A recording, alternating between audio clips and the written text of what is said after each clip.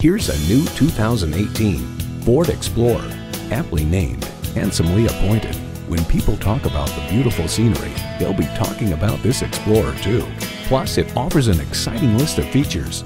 Integrated navigation system with voice activation, power heated mirrors, heated and ventilated leather bucket seats, configurable instrument gauges, Wi-Fi hotspot, heated steering wheel, EcoBoost engine, hands-free liftgate, electronic shift on the fly, and automatic transmission.